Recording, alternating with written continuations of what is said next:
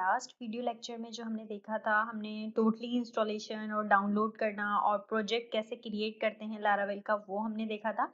और जो कि हमारे पास प्रोजेक्ट क्रिएट होकर आया था, जो कि सैंपल प्रो के नाम से था। ठीक है, इसके अंदर बहुत सारे फोल्डर्स जो है, इसने आपको डाउनलोड करके दिए थे। और इस प्रोजेक्ट को हमने ब्राउज़र पे कैसे एक्सेस करना है, वो हम देखेंगे। आप सिंपली आपने ब्राउज़र पे आना है और आपने लिखना है लोकल होस्ट और आपकी जो पोर्ट का नाम है वो और आपके प्रोजेक्ट का नाम। ठीक है, आपके प्रोजेक्ट का नाम है लाइक सैंपल प्रो तो ये देखें ये जब आप प्रोजेक्ट यहाँ पे एक्सेस कर रहे हैं तो आपके पास एक डायरेक्टरी स्ट्रक्चर ये आपको ओपन करके दे रहा है, जो कि यहाँ पे ये जो फोल्डर्स आपको दिखा रहा है, वही ये आपको ब्राउज़र पे दिखा रहा है। अब आपने प्रोजेक्ट जो इसका बेसिकली इंडेक्स पेज है, वो कैसे एक्सेस करना है? आपने simply click on public folder पे जाना है। आप यहाँ पे क्लिक करेंगे तो आपके पास ये जो है पेज ओपन हो जाएगा। ठीक है? अब यहाँ पे प्रॉब्लम ये है कि हमें जो है वो आ, ऐसा नहीं करना। जब ज़ाहिर सी बात है हम अपना एक प्रोजेक्ट बना लेंगे तो हम जब उसको डिप्लॉय करेंगे तो ऐसा नहीं होना चाहिए कि यूज़र के सामने जो है वो एक डायरेक्टरी स्ट्रक्चर ओपन हो रहा हो। बल्कि उसके पास तो एक इंडेक्स पेज या आपका जो होम पेज जिसे आप कहते हो वो आपका ओपन होना चाहिए।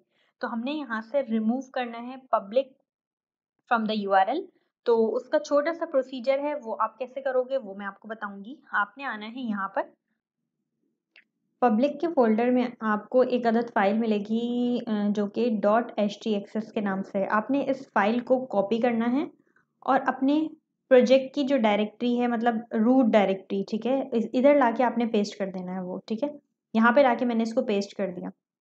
अब क्या करना है? सेकंड स्टेप आपका ये होगा कि आपके पास एक फ़ाइल होती है सर्वर की ये सर्वर और इसकी एक्सटेंशन जो है पीएचपी है, ठीक है? तो आपने इस फ़ाइल को कॉपी करना है। इस फ़ाइल को यहीं पे पेस्ट कर देना तो ये देखें सर्वर की जो फ़ाइल थी वो मेरे पास कॉपी हो चुकी है। इस फ़ाइल को आपने कॉपी जो हुई है फ़ाइल उसे आपने रीनेम कर देना है इंडेक्स से। आप इंडेक्स से रीनेम करेंगे और आप अब आएँगे अपने ब्राउज़र पे, ठीक है जी?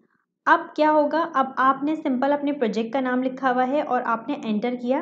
तो ये देखें डायरेक्टली आपका प्रोजेक्ट जो है वो एक्सेस आप कर पा रहे हो, बजाय इसके कि आपके सामने एक डायरेक्टरी स्ट्रक्चर ओपन हो। ठीक है? अच्छा ऐसा कर, ऐसा हुआ कैसे? ये भी मैं आपको बता दूँ कि वो टेक्निकली कैसे पॉसिबल हुआ है कि आप जो है वो डायरेक्टली एक्सेस कर रहे हो। आपने ये जो इंडेक्स वाली जो फ़ाइल है, आप इसको ओपन कर लें।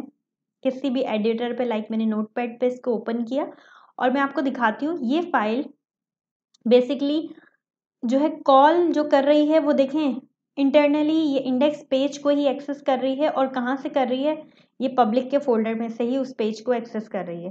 ठीक है जी? अच्छा ये फ़ाइल हमने कर दी और हम इजीली जो है अपने प्रोजेक्ट को एक्सेस कर पा रहे हैं यहाँ पर। लेकिन एक यहाँ पे जो है हमारी सिक्योरिटी पर्पस के लिहाज से अगर मैं आपको बताऊँ तो हमारी एक चीज़ जो है थोड़ी ख़राब हो जाती है। लाइक like, यहाँ पे आपके पास मैं आपको दिखाऊँ, एक अदद फ़ाइल होती है जो कि इन्वायरमेंट फ़ाइल होती है डॉट ई फ़ाइल ये बेसिकली आपकी, समझ लें, इस तरह की फ़ाइल होती है जिससे आपने अगर एम वी सी पे काम किया हो या आपने डॉट नेट पर काम किया हो तो जैसे वहाँ पे वेब डॉट कॉन्फिक फ़ाइल होती है, वही एज इज़ फ़ाइल यहाँ पे इन्वायरमेंट फ़ाइल कहलाती है. तो जिसमें आपकी सारी जो है डेटाबेस से रिलेटेड इन्फॉर्मेशन होती है, कौन सा डेटाबेस है, कौन सी पोर्ट है लोकल होस्ट क्या है यूज़र नेम क्या है, ठीक है? तो वो जब हम डेटाबेस के साथ कनेक्टिविटी करेंगे तो मैं इस फ़ाइल के बारे में जो है वो इन डिटेल बताऊँगी आपको, ठीक है? लेकिन अभी फ़िलहाल आपने ये समझना है कि अगर आप यहाँ पर आते हो और डॉट ई एन लिखते हैं तो आपकी ये फ़ाइल यहाँ पे एक्सेस हो रही है। तो हमें तो ऐसा नहीं करना, ठीक है? ये तो हमारी बड़ी कॉन्फिडेंशियल फ़ाइल है, जिसके अंदर हमारी सारी इन्फॉर्मेशन है ये तो हमारी बड़ी सेंसिटिव फ़ाइल है, जिसमें हमारी डेटाबेस से रिलेटेड सारी इन्फॉर्मेशन होती है लाइक डेटाबेस का नाम यूज़र नेम क्या है, ठीक है पासवर्ड क्या है तो ये सारी इन्फॉर्मेशन जो है वो ज़ाहिर सी बात है, हम किसी जो है यूज़र को नहीं चाहेंगे कि पता लगे, ठीक है? तो इस फ़ाइल को हमें हाइड करना है अब। तो उसके लिए छोटा सा कोड है, वो मैं आपको बताऊँगी कि आपने उस कोड को कहाँ पे जो है वो पेस्ट करवाना है। अच्छा जी, जो कोड आपको जो है तीन से चार लाइनों का कोड जो आपको चाहिए होगा वो ये कोड है। ये मैं डिस्क्रिप्शन में भी जो है वो मेंशन कर दूँगी। जो कि एक स्पेसिफिक फ़ाइल को हाइड करने के लिए है। जैसे लाइक ई को हम हाइड कर रहे हैं तो इस कोड को मैं कॉपी करूँगी। और जो है मैंने विजुअल स्टूडियो कोड यहाँ पे ओपन किया हुआ है, ये मेरा प्रोजेक्ट है। और आपने किस फ़ाइल में इसको लाके पेस्ट करना है? आपके पास जो टी एक्सेस की फ़ाइल है, ठीक है, ये वाली फ़ाइल इस एच टी एक्सेस की फ़ाइल के अंदर आपके पास एक अदद मॉड्यूल यहाँ पर डिफाइन हुआ हुआ है। इफ़ मॉड्यूल करके आपने ये लाकर यहाँ पर जो है वो आ, पेस्ट करवा देना है इसके नीचे। ठीक है जी? और सेव कर देना जब आप इसको सेव कर देंगे यहाँ से और आप यहाँ पर आएँगे और इसको एक्सेस करने की कोशिश करेंगे तो ये देखें आपको फ़ाइल जो है वो एक्सेस नहीं हो पाएगी, ठीक है जी? तो ये जो है छोटा सा एक प्रोसीजर था जिसके ज़रिए जो है वो आप ई वी फ़ाइल को जो है हाइड कर रहे थे और पब्लिक को जो है वो from the U R L आप जो है वो कैसे रिमूव कर सकते हो। आई होप कि आपको चीज़ें समझ में आ गई होंगी। फिर भी अगर आपका कोई क्वेश्चन हो तो आप मुझसे कमेंट में पूछ सकते हैं। Thank you very much